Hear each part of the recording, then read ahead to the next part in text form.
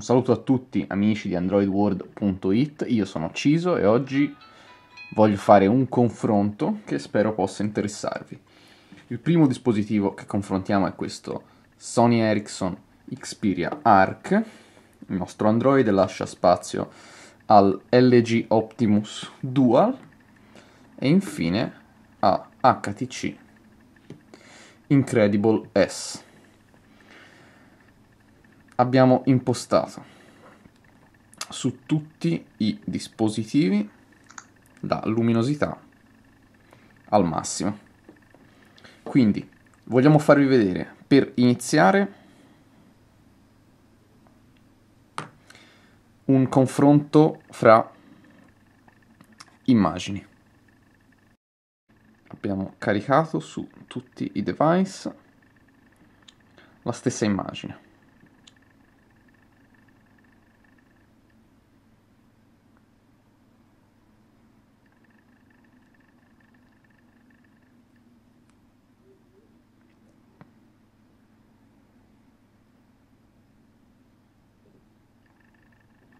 Ok.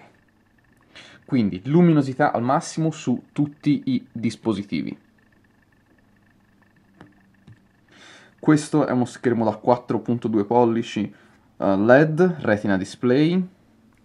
Questo è da 4 pollici LCD e questo è da 4 pollici Super LCD. Qui abbiamo Android Gingerbread, qui Froyo e anche qui Froyo, entrambi con la promessa di un aggiornamento. Uh, il Sony Ericsson ha un processore da 1 GHz, Qualcomm, anche l'HTC Incredible S ha uno schermo da, eh, scusate, un processore Qualcomm da 1 GHz. Uh, come potete vedere, uh, l'immagine del Sony Ericsson è più nitida, più chiara e risulta un pochino più luminosa. Questi due schermi si assomigliano molto, quello dell'Incredible S eh, sembra un pochino uh, meno definito di quello del Dual. Lo schermo del Dual sembra un pochino più definito uh, rispetto a quello dell'Incredible di HTC.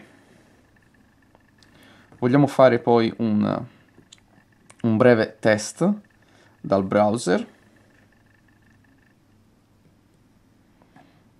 Vogliamo caricare tutti il sito di Repubblica. Non è sulla, nella cache di nessun telefono. Ok, proviamo a caricarli contemporaneamente.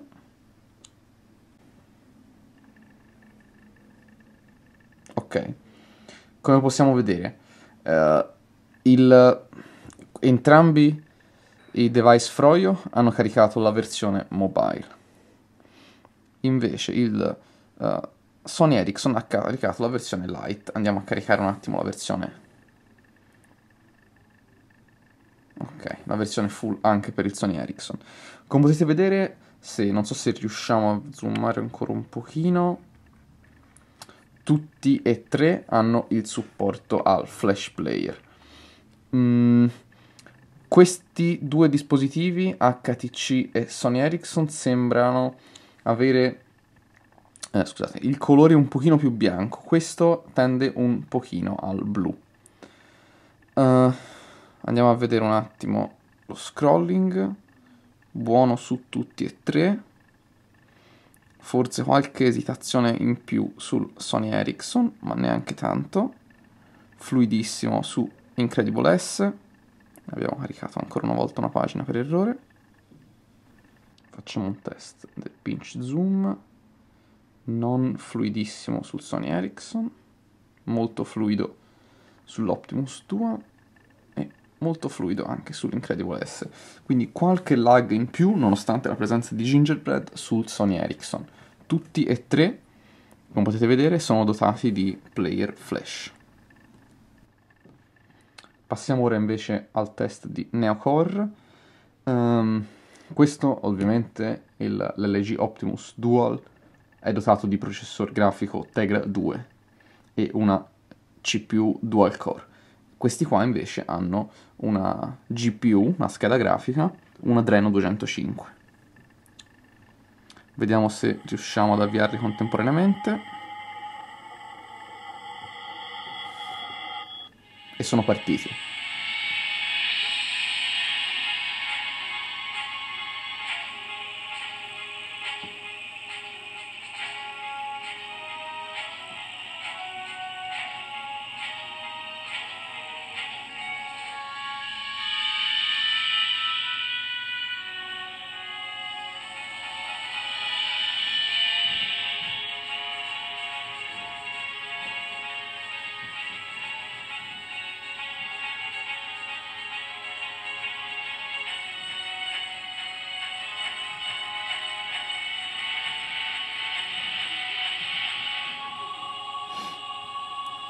74 frame per secondo per l'Optimus Dual, 58.9 per il Sony Ericsson e 55.7 per l'HTC. Eseguiamo invece un benchmark completo. Le caratteristiche tecniche: Sony Ericsson, processore da 1 GHz e 512 MB di RAM e, e scheda, eh, diciamo, processore grafico ad, eh, Adreno 205. L'LG Optimus Dual ha un dual core sempre da 1 GHz, eh, ARM A9, 512 MB di RAM sempre e invece processore grafico Tegra 2. L'HTC, esattamente come il Sony Ericsson, ha una CPU da 1 GHz, sempre processore grafico Adreno 205, ma 768 MB di RAM. Pronti ad avviare il test.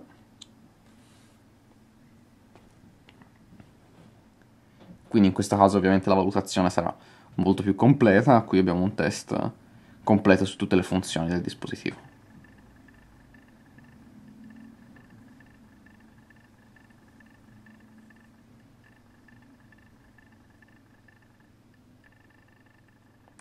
Un po' di ritardo nell'esecuzione per il Sony Ericsson. Vediamo se però il risultato finale farà giu- renderà giustizia anche al dispositivo Sony Ericsson.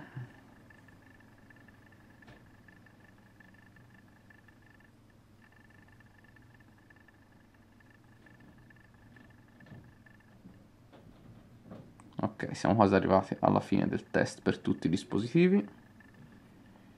Appena finisce anche l'ultimo dispositivo, perfetto.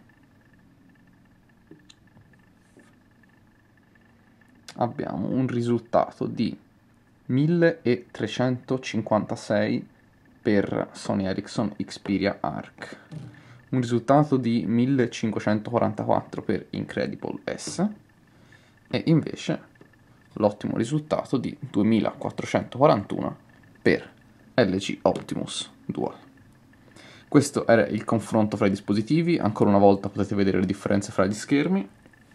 Per questo confronto è tutto. Un saluto da Ciso per androidworld.it.